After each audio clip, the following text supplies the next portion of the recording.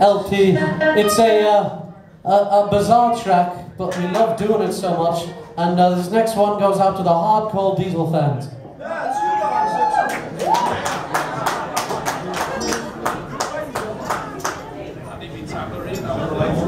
Come in, Ringo. Come in.